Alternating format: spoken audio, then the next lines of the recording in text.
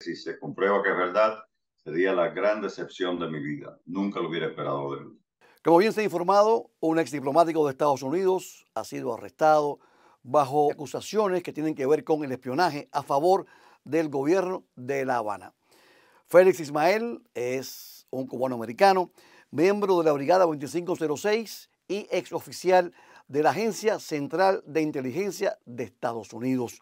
Conoció muy bien al señor Roche y con Ismael hablamos sobre este caso que ha hecho noticia en Estados Unidos y en el mundo. Su primera reacción al conocer de su detención. Mira, primero que nada, me, me lucía imposible creerlo.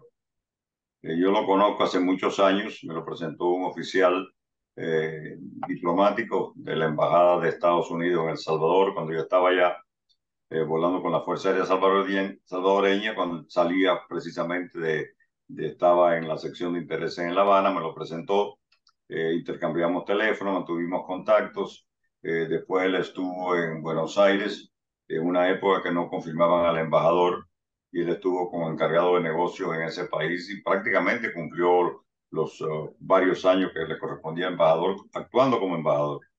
Yo visité en esa época dos o tres veces a Buenos Aires, lo llamaba porque teníamos buena amistad. Él venía inclusive a verme al hotel, el Sheraton, donde me quedaba, donde conversamos. Eh, un hombre extremadamente inteligente, eh, lo consideraba extremadamente conservador, y no podemos olvidar cuando él fue embajador la primera vez en Bolivia, él fue la persona responsable para que Evo Morales no llegara a la presidencia de Bolivia. Cuando aquello explícitamente, casi ningún embajador lo hace, amenazó a todo el mundo allá que si Evo Morales salía electo presidente, se iba a cortar todas las ayudas a y por haber de Estados Unidos al país. Y obviamente eso fue lo que propició para que Evo Morales no agarrara de presidente de Bolivia en aquella oportunidad. Una cosa como te agarran preso porque tú eres agente y te agarran pasando información de inteligencia secreta, clasificada, como fue el caso de Ana Melén Monte. Y otra cosa como lo que yo he oído ahora, que lo acusan de que estar haciendo propaganda a favor del gobierno cubano y que no se había registrado como operante o trabajando para un gobierno extranjero. Esas son dos cosas diferentes, muy, muy diferentes.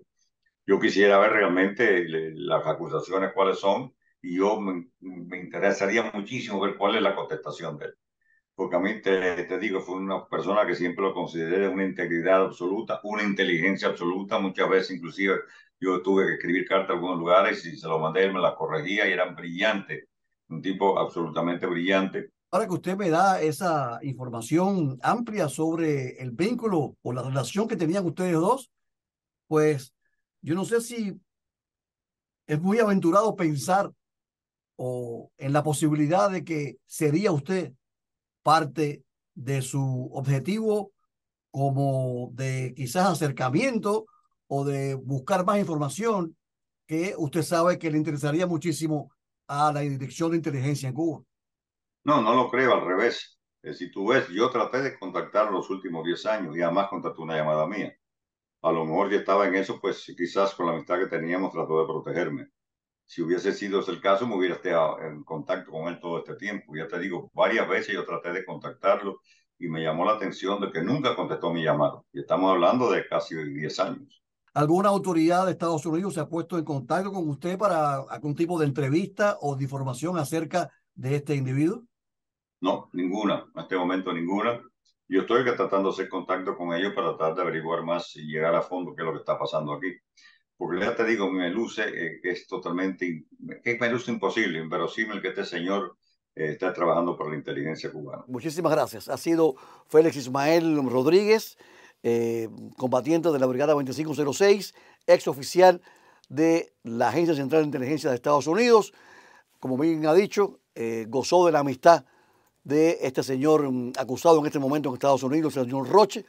Gracias, Félix, nuevamente. Y Esperemos un nuevo contacto una vez que se ya comience el desenlace de este juicio, de este proceso judicial aquí en Estados Unidos. Muchísimas gracias.